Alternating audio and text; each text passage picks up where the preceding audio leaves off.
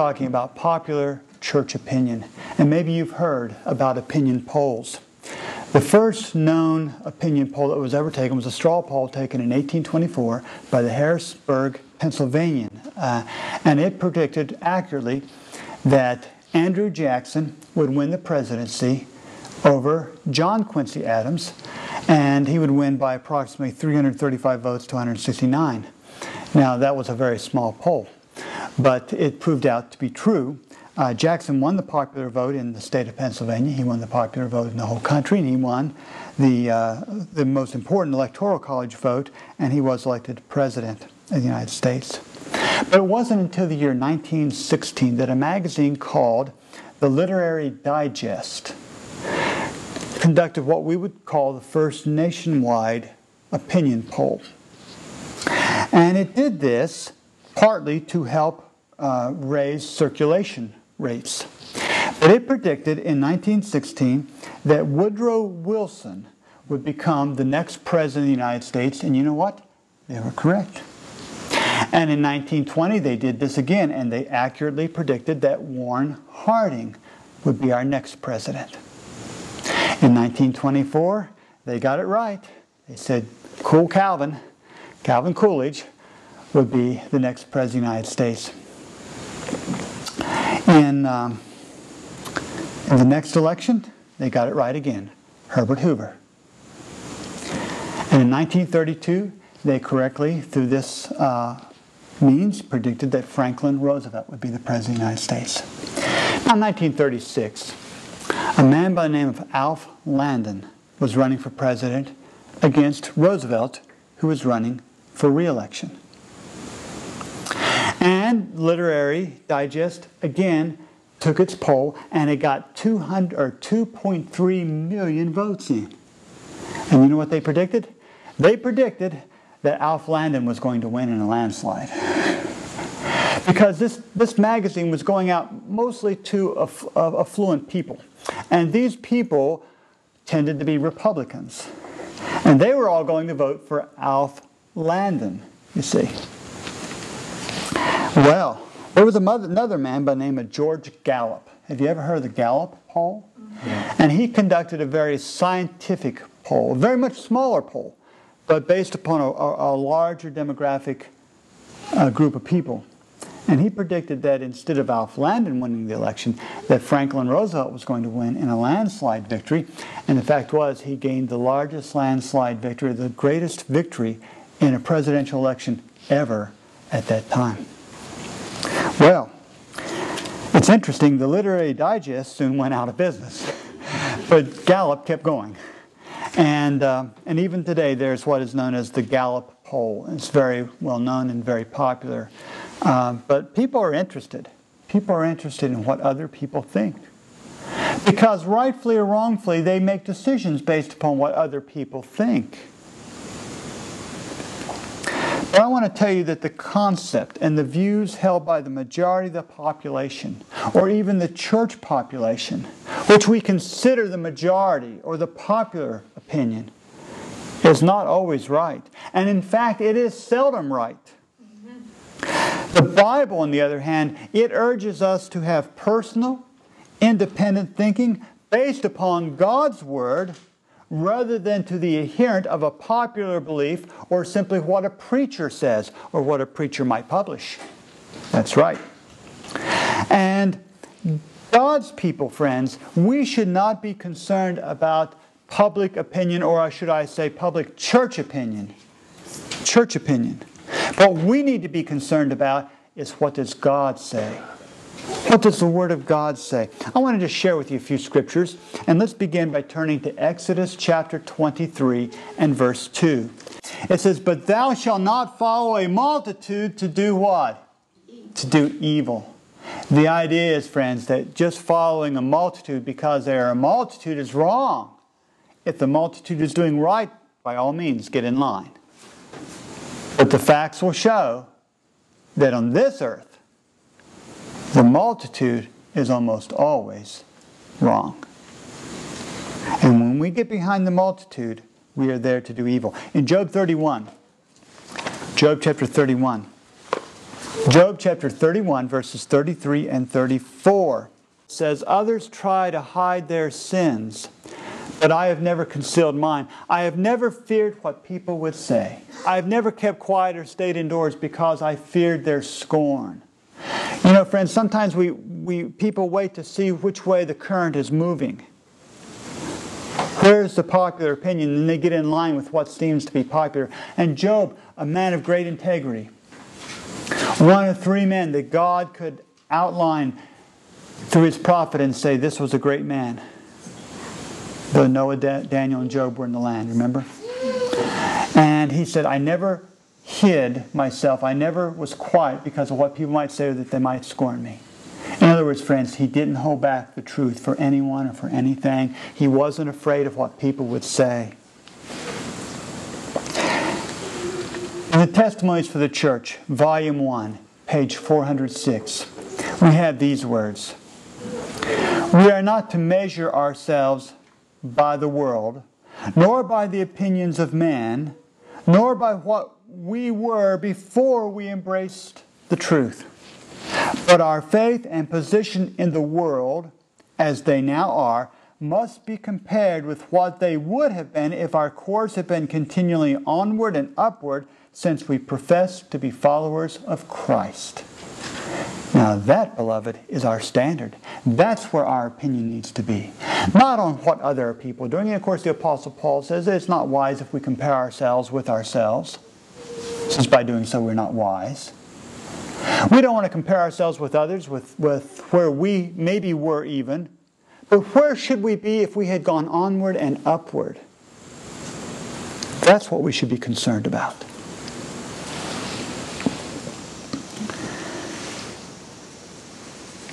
Brother O.H. Harold, some of you knew Brother Harold. Um, he had an experience one day. He was driving with Brother Glenn Ford, and they went by a church that was just had a, a, a full parking lot. It was packed. And Brother Hill made the comment to, to, to Brother Glenn. He says, You can just about be sure of one thing, and that is that they're not preaching the truth in that church. And he could say that based upon the principle, friends, that the majority is usually not right, and the majority usually doesn't want to hear the truth. The majority wants smooth things preached to them. And that's the way it always has been. Now, friends, the majority, as we said, is usually not right. There's exceptions. The majority of heaven is correct, isn't it? And one day we will be part of that, that family birth and heaven become one united in, in, in substance, and, will, and the majority will always be true then. But the majority is usually not right. But let me just say, let me give you a word of caution, and that is the opposite is the minority is not always right. Did you get that? The minority is not always right. You could have a church of 100 people and there could be a schism. And 10 people move out here and they look at the 90 over here. And these 10 say, well, look, that's the majority. The majority is never right. We are the few standing for God. But then within that 10, there's a few more say, well, but those eight over there, they can't be right because we differ in this area right here. And so we separate from them and we are the minority, therefore we must be right. And finally, there's a breakup between the two, and each are sure they're right.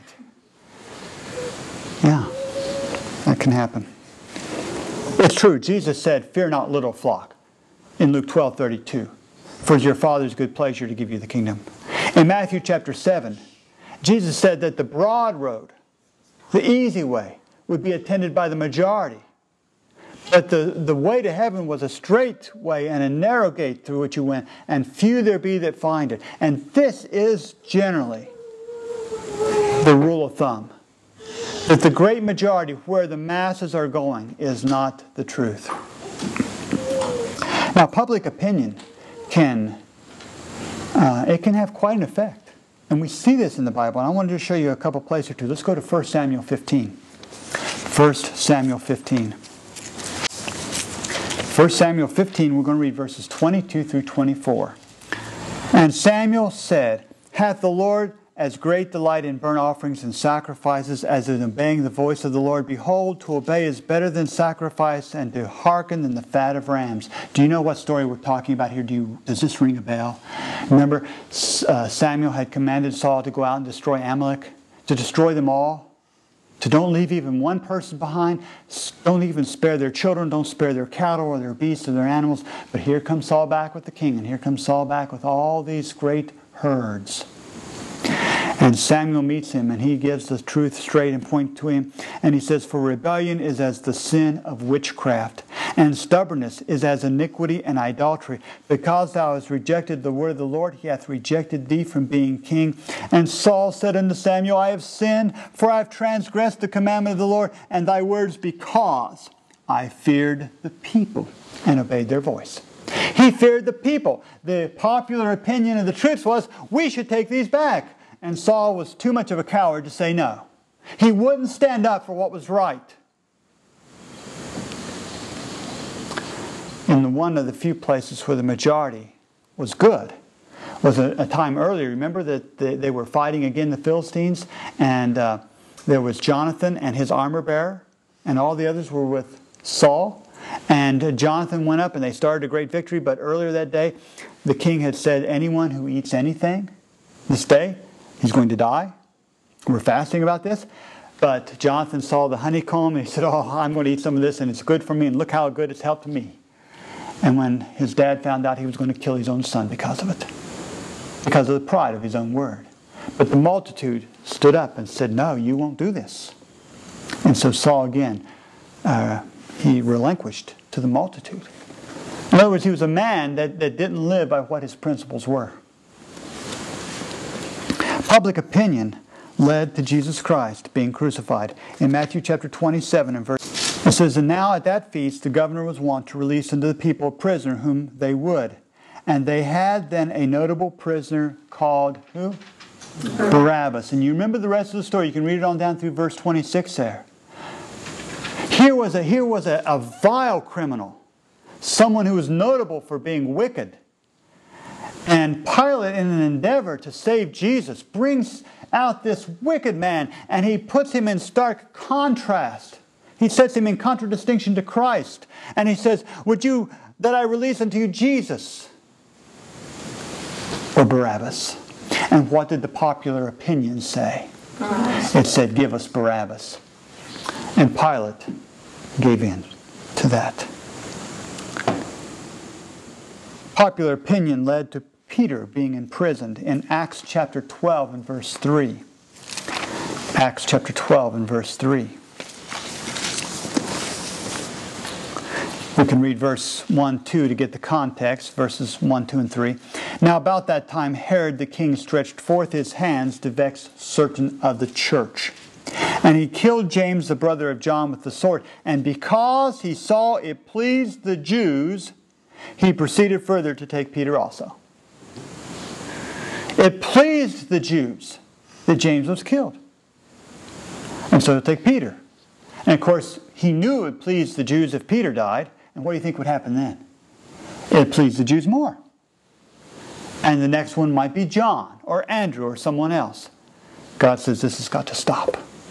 And he did stop it.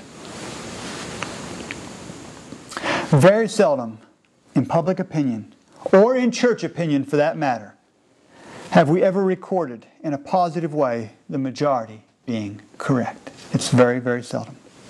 Public opinion is often contrary to the divine will and to divine standards, friends, because the majority are not converted. The majority are living after the flesh and not after the spirit. And in chapter 1 and verse 2, Thus speak the Lord of hosts, saying, The people say the time is not come, the time that the Lord's house should be built. Then came the word of the Lord by Haggai the prophet, saying, Is it time for you, O ye, to dwell in your sealed houses, and houses lie, and, and his this house lie waste? And then he tells them to consider their ways, how they've been prospering, they have all these things, and yet my house is lying in wait. This was a terrible thing and the people. This was the, the, the, the, desires of the people. But he goes on to say, but, but I'm not blessing you in all this. In verse 6, ye have sown much and bring in little. Ye eat, but ye have not enough. Ye drink, but ye are not filled with drink. Ye clothe you, but there is none warm. And he that earneth wages, earneth wages to put into a bag with holes. Thus saith the Lord of hosts Consider your ways, go up to the mountain, and bring wood, and build the house, and I will take pleasure in it, and will be glorified, saith the Lord. Ye looked for much, and lo, it came to little. And when ye brought it home, I did blow upon it. Why? Thus saith the Lord, because of mine house that was that is waste, and ye run every man into his own house. And God was not happy with this situation, and he says he's going to bring a drought upon the land, and things are going to be hard. Now, to the credit of the people, here was a time when they listened. They listened. And they decided they'd do something about it. We have some nice insight on this in the book Prophets and Kings I'd like to share with you. The message of counsel and reproof given through Haggai was taken to heart by the leaders and people of Israel. They felt that God was in earnest with them. They dared not disregard the repeated instructions sent them, that their prosperity, both temporal and spiritual, was dependent on faithful obedience to God's commands, aroused by the warnings of the prophet. Zerubbabel and Joshua, with all the remnant of the people, obeyed the voice of the Lord their God and the words of Haggai the prophet. Continuing, as soon as Israel decided to obey, the words of reproof were followed by a message of encouragement. Then spake Haggai unto the people, saying, I am with you, saith the Lord. And the Lord stirred up the spirit of Zerubbabel, and of Joshua, and of all the remnant of the people. And they came and did the work in the house of the Lord of hosts their God. And then she says, In less than a month after the work of the temple was resumed, the builders received another comforting message. Be strong, O Zerubbabel. The Lord himself urged through his prophet, Be strong, O Joshua, and be strong, all you people of the land, saith the Lord, and work, for I am with you, saith the Lord of hosts. Haggai 2.4. And that's from the book Prophets and Kings, page 575. I want you to remember something because we're going to come back to this later.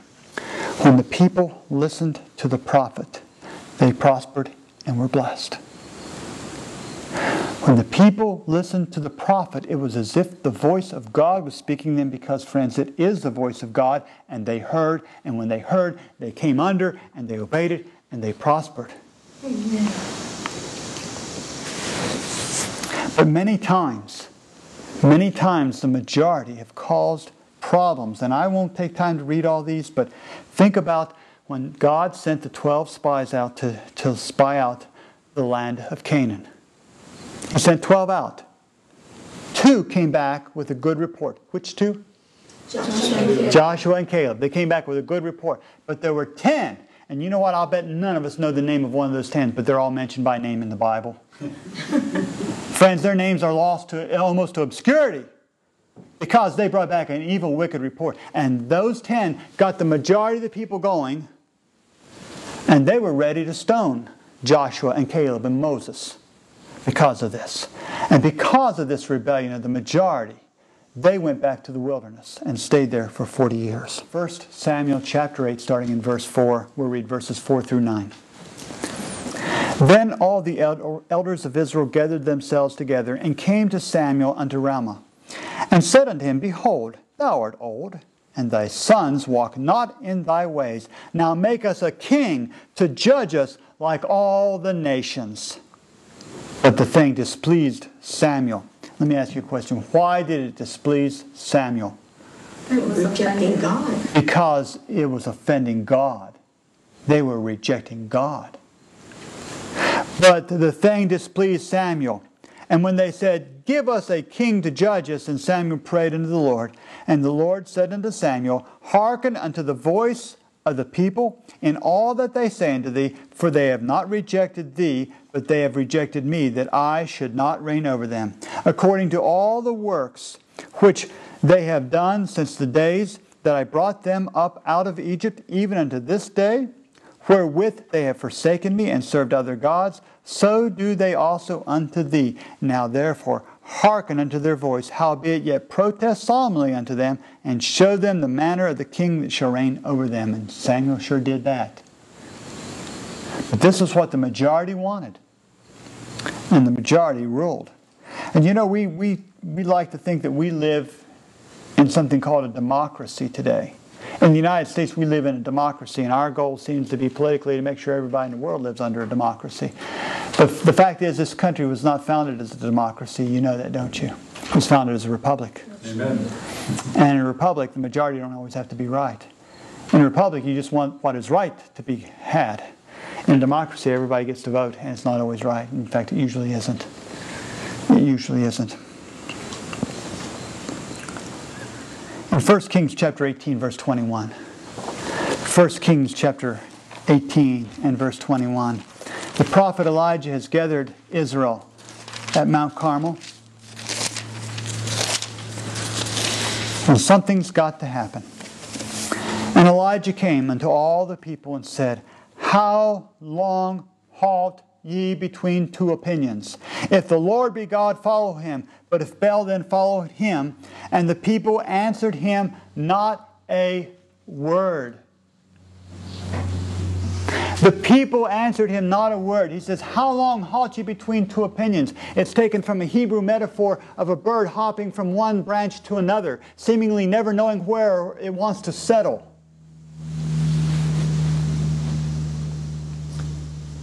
And they were quiet. And even the 7,000 who had not bowed the knee to Baal, either they weren't there or they were quiet, friends.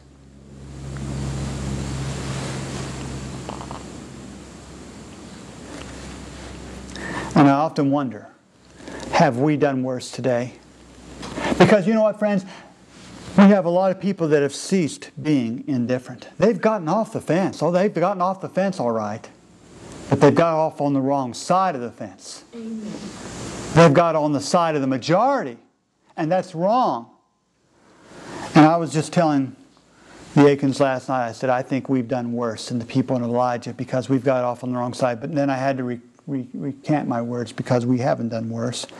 In volume 3 of the Testimonies on page 280, it says, If God abhors one sin above another, of which his people are guilty, it is doing nothing in case of an emergency. Indifference and neutrality in a religious crisis is regarded of God as a grievous crime and equal to the very worst type of hostility against God. Do you understand that? That it is actually worse to be neutral than to be on the side of the majority? At least, you know, friends, sometimes when you're on the side of the majority, if, if the wickedness is clear enough, and bear me out, if the wickedness is clear enough, if the error is pronounced enough, at least we know where you stand and we know it's wrong. If someone's going to be in error, I would rather for them to be in a great error that is plain for others to see instead of a subtle error where the track of truth and track of error lie close beside each other, and to the undiscerning eye that's not worked by the Holy Spirit, it's very difficult to discern which one's right. They may appear as one. It would be better, it'd be far better, friends, to be out in left field, as we say. We have that uh, figure of speech here in America, to be out in left field, to be way off, than to be neutral or not clear on where you're standing. So maybe we are not as bad as Israel for today. But many are not being quiet about wholeheartedly throwing in their hats with the ringleaders of apostasy. There was a mob in the day of Jeremiah. Jeremiah spoke to the people you read about in Jeremiah chapter 26. And the people wanted to kill Jeremiah. And fortunately, some of the princes and some of the elders stepped in and said, No, you can't do this. This man's speaking for God. But the majority, they were ready to get rid of him. They probably said, you know, this, this guy Jeremiah, he speaks bad about us. He speaks bad about us. And, and he says ill things about us. And he doesn't like us. He's upset with us. He's harboring grudges against us. You think they said that about Jeremiah? I know they must have said that about Jeremiah. But was it the truth? Not at all, friends. Jeremiah loved those people. He was willing to die for those people. He was going to tell them the truth even if it killed him for those people. And all these divisions, friends, that separate the majority from the minority, that separate truth from righteousness, that separate holiness from wickedness, they really ultimately all center around Jesus Christ and what we do with Jesus Christ. Public and church opinion of Jesus Christ has always brought the division. In Matthew chapter 16, I'm sure you've heard this verse. Matthew chapter 16. I suppose in many ways this was the first public opinion poll. Matthew chapter 16. Matthew 16, verse 13. when Jesus came into the coast of Caesarea Philippi, he asked his disciples, saying, Whom do men say that I, the Son of Man, am? And they said, Some say that thou art John the Baptist, some Elias, another Jeremiah, or one of the prophets. And he saith unto them, But whom say ye that I am? And Simon Peter answered and said, Thou art the Christ, the Son of the living God. You know what? That wasn't the answer that any of the popular opinion polls gave. Not one. Not one opinion poll said that this is who the majority believe Jesus to be. And you know what? The same is still true today. You take a poll of the majority of church leaders, church representatives, church members today, and Jesus is the second person of a supposedly holy Trinity. But the Apostle Peter said, Thou art the Son of the living God. And Jesus said in verse 17, Blessed art thou, Simon Barjona, for flesh and blood hath not revealed revealed it unto thee, but my Father which is in heaven. We've been told in the book Desire of Ages on page 413 that Peter had expressed the truth which is the foundation of the church's faith. And in fact, on the page before, on page 412, she says Peter expressed the, the, the, the believer's faith, the foundation of the individual believer's faith. But because the church is made up collectively of all the individuals, it has to be the church's faith also, doesn't it? And if it is the foundation of the church's faith, then it must be the foundation of the individual believer, unless that believer is not part of the true church. John chapter 7 and verse 12 says, And there was much murmuring among the people concerning him, that is Jesus. For some said, He is a good man. Others said, Nay, but he deceiveth the people.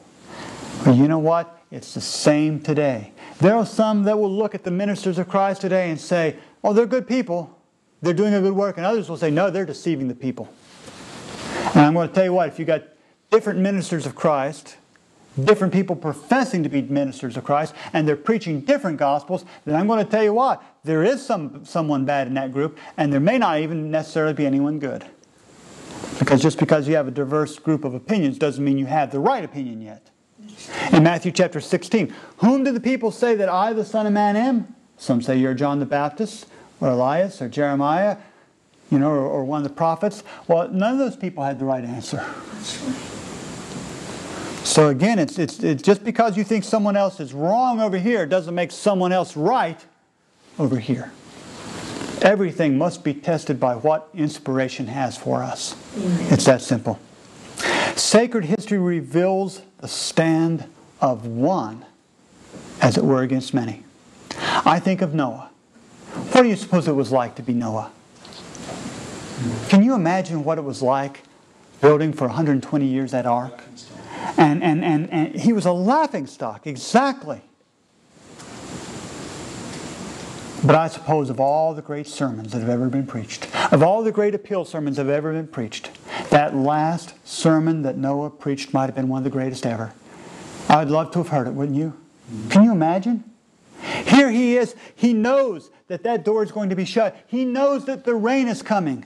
And he knows that everyone is outside that ark will be lost. And he's appealing and he's pleading and he's begging and he's crying for the people to come in and they won't come in.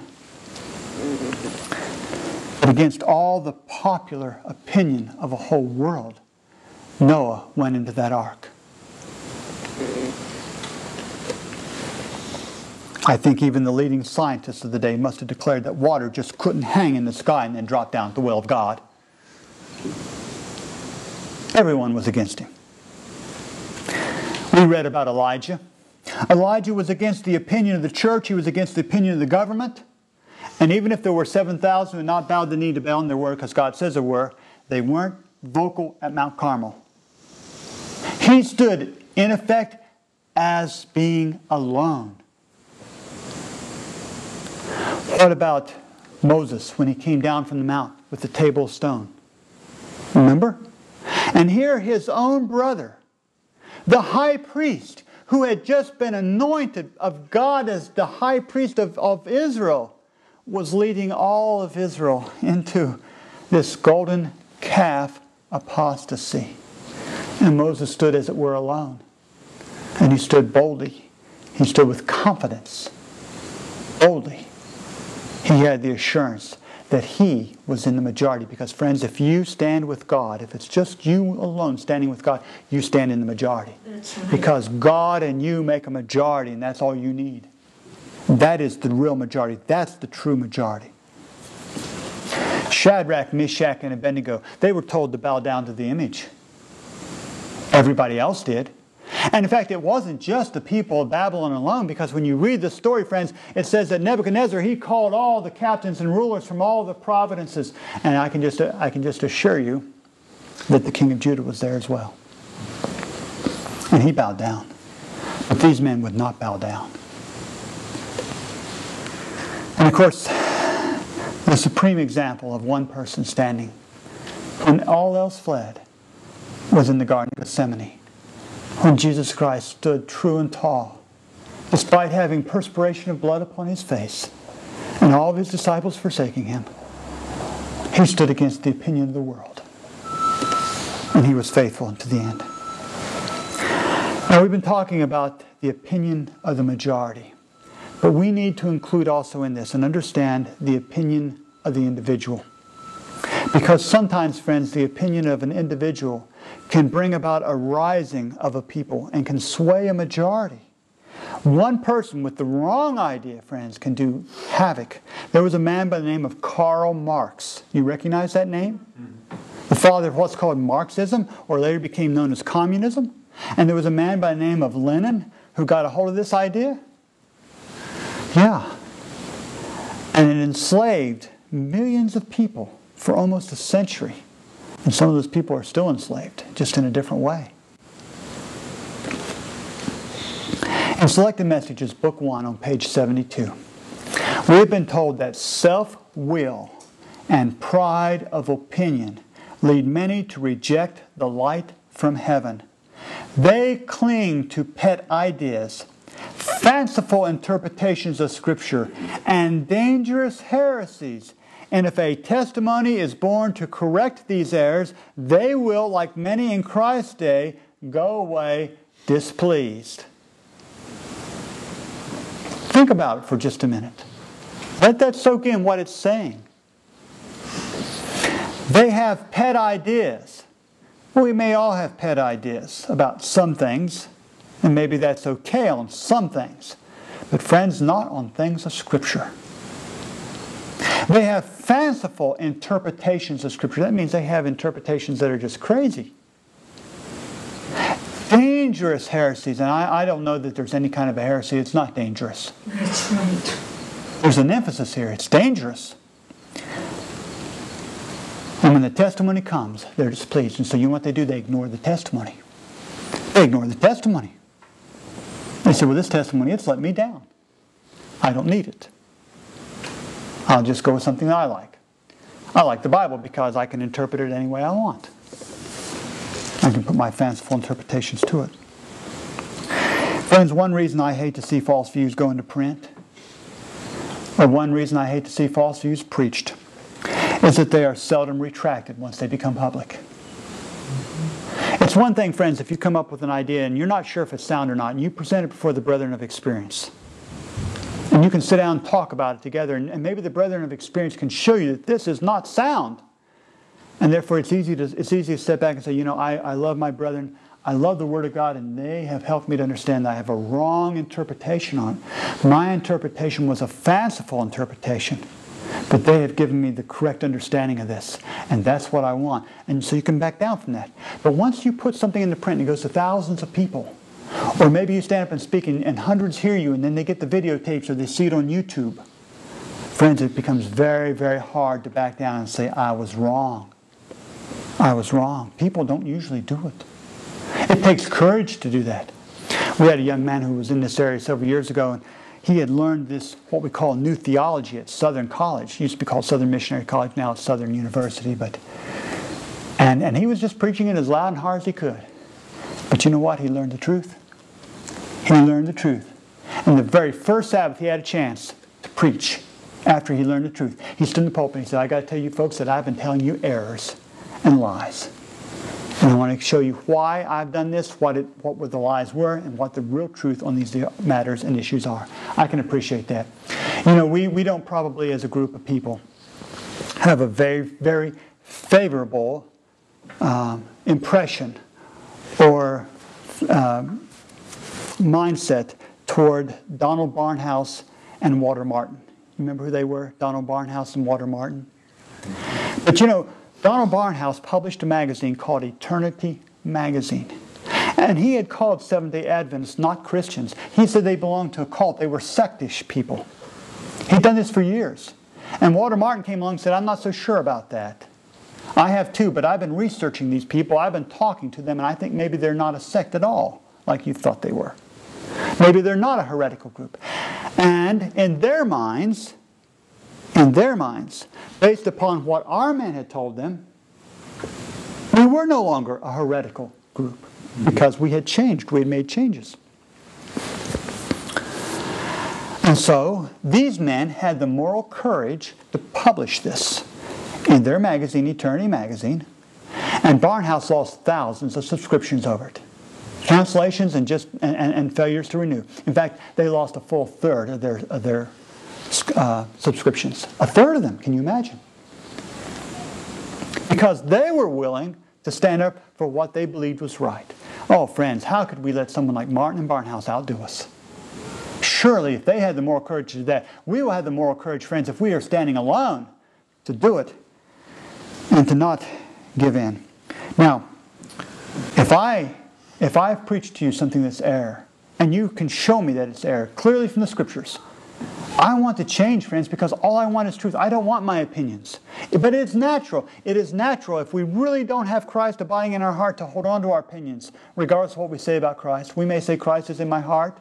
We may say that I'm preaching the righteousness of Christ, and most everyone does. How many people tell you they're preaching the righteousness of Satan or they're preaching righteousness by works? When was the last time you heard a good sermon on that? You see Faith Baptist Church, Faith Methodist Church. When was the last time you saw one that said disobedience? Baptist Church. You know, doesn't happen. Doesn't happen. But I think of this next statement, and it's one of the most solemn statements in all the Spirit of Prophecy. In Volume 7 of the Testimonies, on pages 191 and 200, we read this With sin that is most nearly hopeless and incurable is pride of opinion, self conceit. The sin that is almost incurable is pride of opinion. It's nearly hopeless. I'm glad she said nearly hopeless. Because, friends, it can be overcome if we will let Jesus in. But this should tell us something about how important it is to say the truth and to know what we say. You know, Jesus, when he was speaking to, Nicodemus, he said, We speak that which is truth. We don't speak our own opinions. Jesus says, I didn't come to speak my opinion. I came to tell you the words of the Father that He has given me. And the truth is, friends, I'm not wise enough to come up with good interpretations or probably even fanciful interpretations very often. I have to depend upon the Word of God. I have to depend upon the testimonies that God has given His people to know how to interpret His Word.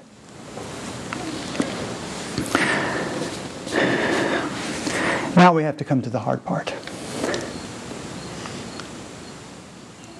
But I want to remind you that when Elijah stood on Mount Carmel and he said, How long halt ye between two opinions? That wasn't easy.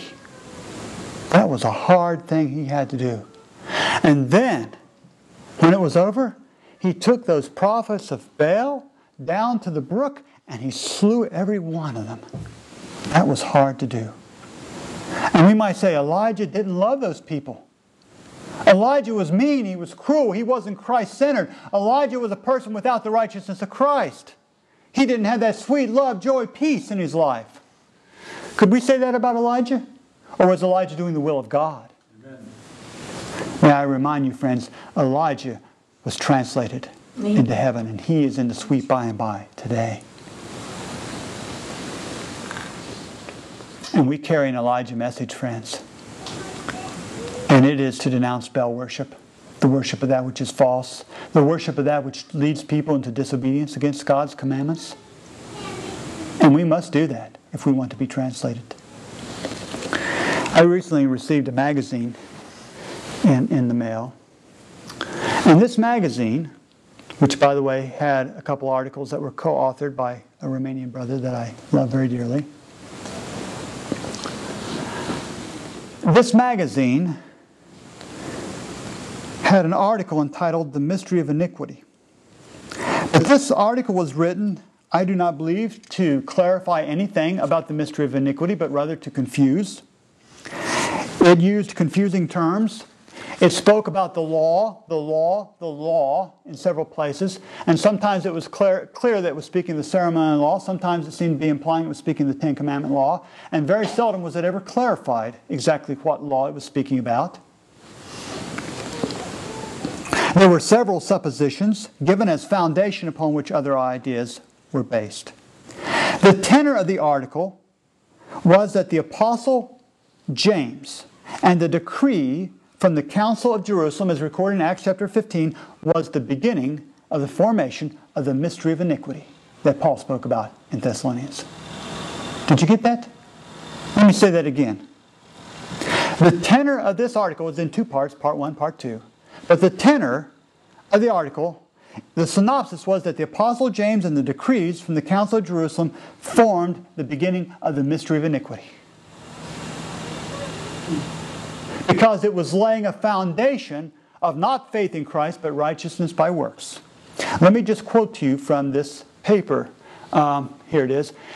James understood that the issue was threatening to divide the Christian church, and he proposed a compromise solution.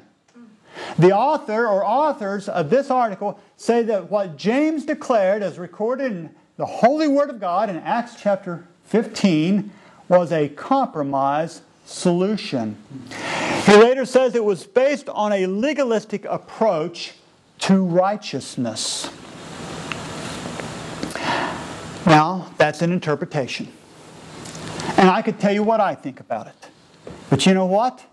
It would just maybe be my interpretation. And I'd rather not give you my interpretation because I don't trust my interpretation. But I will give you what the Spirit of prophecy says. Now, if you believe the spirit of prophecy, if you're like those people uh, that uh, don't like the spirit of prophecy or have believe it's failed you or, or believe it's in error, then this maybe won't mean anything more to you than if I give you my interpretation. But for those of you who still value the testimony of Jesus and still believe it's the spirit of prophecy, here's what we read there. After, oh no, I'm sorry. Let me. I have one more quote I have to read to give you the full benefit of this, and then we'll come back to what the Spirit of prophecy says. After quoting Acts 15, 23 through 29, which is the letter that was sent out by the Jerusalem Council to the brethren in the different places, here's what's written in that article. It says this Notice that this epistle is lacking any instruction to not depart from Christ and to hold fast to Him by faith. It contains only the four commandments proposed by James. It is not hard to imagine what may have happened in the minds of the Gentile Christians who read it. Their attention was diverted from Jesus to the fulfillment of the four rules with the promise that if ye abstain, ye shall do well. A new path opened for the Gentile Christians, not the way of the law from Sinai, but the law from Jerusalem. But the principle promoted was actually the same be careful what you do, and you will be saved. If you do not break the rules, you will be a true Christian. Now, before discussing again what the Spirit of Prophecy says about this council and this letter and other things, let me just remind you something that's found in the book of Galatians, chapter 5. Galatians, chapter 5.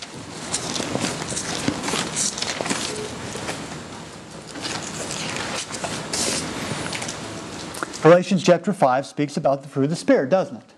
But it also speaks about something called the works of the flesh.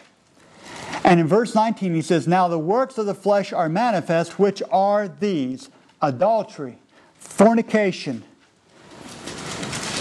uncleanness, lasciviousness, idolatry, witchcraft, hatred, variance, emulations, wrath, strife, seditions, heresies. Did you get that? Amen. Heresies envyings, murders, drunkenness, revelings, and such like, of the which I tell you before, as I have also told you in time past, that they which do such things shall not inherit the kingdom of God. Friends, notwithstanding any profession they make about Jesus Christ. It is true, friends, that by grace are you saved through faith. It is the gift of God, not of works, lest any man should boast. Our works will never save us. But I want to tell you, the Apostle Paul, the man who we talk so much about, the author of faith, teaching of faith, he makes it very clear here that our works, if they're bad works, if they are wicked works, friends, they will cause us to be lost. And don't you ever forget that. Only grace through faith can save us, but friends, but works can cause us to be lost, irrespective of our claim of faith. Now, who was behind this so called letter that they're commenting on here in Acts 15 23 through 29? The apostles, it says the elders and brethren, Paul and Barnabas, Judas and Silas were especially mentioned as those carrying the letter. Someone says James compromised in that council, but I do not believe it, and neither do I believe that Paul compromised in carrying that letter. If that letter was so bad, then why was Paul a courier for that letter? Why did Paul promote that letter? If it was teaching contrary to what Paul said, because I don't believe Paul was trying to compromise then. Now, the servant of the Lord has said this. The four servants of God were sent to Antioch with the epistle and message that was to put an end to all controversy, for it was the voice of the highest authority upon the earth. Did you get that? As Paul and Barnabas and Silas and Judas took this epistle to Antioch, it was to silence all discussion because it came from the highest authority on earth. In Acts 15 and verse 28, it says, For it seemed good to the Holy Ghost, or the Holy Spirit, and to us to lay upon you no greater burden than these necessary things. They said these things are necessary. Friends, there are things that are necessary for our Christian lives, and we shouldn't be afraid of them. Because God is good, and He doesn't want us involved in sin. He doesn't want us involved in the bad, wretched things. He doesn't want us involved in pollution and uncleanness. These are necessary things. But it says here, it seemed good to us and to the Holy Ghost also. Well, you know what? If it was good to the Holy Ghost, I don't even know what we should even be worried about on, for ourselves. It, it better be good to us because it's good to the Holy Ghost. And that's enough. And I don't see that commented upon here. But continuing in the book Acts of the Apostles on page 194. It says, James also bore his testimony with decision, declaring that it was God's purpose to bestow upon the Gentiles the same privileges and blessings that had been granted to the Jews. The Holy Spirit saw good not to impose the ceremonial law on the Gentile converts, and the mind of the apostles regarding this matter was as the mind of the Spirit of God. Now, friends, do you think God compromised on the issue? No. I don't think God compromised a bit on the issue. On page 195, in this instance, James seems to have been chosen as the one to announce the decision arrived at by the council. Was this simply James's decision alone? No, it was a decision of the whole council, friends. The council came together and they brought this before the others. Throughout this study that I'm speaking of in question, James's character is assassinated, and the truths of the spirit of prophecy are totally disregarded. And I believe it is equivalent to an open declaration of independence from any body that truly claims to be Seventh day Adventist. It is tantamount to declaring a declaration of independence from the testimonies and that which our people have stood for all this time. And here's why I say that. In volume 5 of the testimonies, on page 534, one point will have to be guarded, and that is individual independence. As soldiers in Christ's army, there should be concert of action in the various departments of the work. No one has the right to start out on his own responsibility and advance ideas in our papers on Bible doctrines when it is known that others among us hold different opinions on the subject and that it will create controversy. Now, there are two qualifiers here, two qualifiers, and that, that these things that would be published would uh, be different from opinions held by others and create controversy. We, we may always have slight differences that we, we express at times, but we don't do this when it brings it to the point of creating controversy. That's when we come together with the brethren, friends. And if we cannot, after we do that, in good conscience, be quiet, then it is time to declare our independence and that we are no longer part of that body. Let's just be honest. We no longer are Seventh day Adventists at that point. Let's go somewhere else, start another church if that's what you want to do. But be honest and open about it. Don't claim you're continuing the truth. Don't claim you're upholding the banner of the commandments of God and the faith of Jesus if you're not going to do that. And I told you earlier, and I tell you this sadly, that sometimes it's better. Sometimes it's better if we're going to be in apostasy, to be so deeply in apostasy that at least people can see it and understand it. And I thought I had saw things that were bad before this. And this is only part of the study. This is only the, the, the main tenor of the study of what it's about. There are so many details that, that work to sweep away the foundation of not only true righteousness, but the commandments of God with the faith of Jesus. And I just hope, friends, I just hope and I pray that, like the people in the day of Haggai, that there will be people who have bought into this program that will read what the testimony, what the Spirit of God, what the prophet has said to his people, and they will change like the people in Haggai's day. They won't have so much pride of opinion that they can't say, you know what, we've went off and we've done our own thing. That's what the people did in Haggai's time.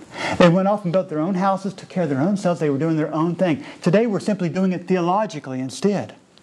We're doing our own thing theologically. But friends, it's time to stop. And if this, if this, if this train that we've been on since 1844 is wrong, then friends, let's just be honest. Let's just chuck it. Let's get rid of it. And let's just denounce the whole thing because I'm going to tell you that's what's going to happen. And it's going to happen for a surety if you step off on these kind of vital points. It's just a matter of when and where it happens. It's going to happen. I've seen it over and over and over. And it's been prophesied in the testimonies it would happen, and we've seen it fulfilled. That's right. But friends, we have not followed cunningly devised fables. The truth is still the truth, and all the hellish lies of Satan cannot change one truth into a hundred errors. Amen. I appeal to you today, friends, to believe in true Bible individuality that allows you to think for yourself, but that brings you into a true unity with the brethren, a unity of truth. God has given us as a people truth, friends, and this is not the day to go to a new paradigm of thought. Today is the day to stay on truth and to hold truth, and if we've left that truth, to come back to that truth. And I want you to come back right early because the Lord wants you back. And He loves you. And just like as in the day of Haggai, He'll take you back and He'll prosper your work and He'll bless your work. May God add His blessing to this service. And may God bless Israel today.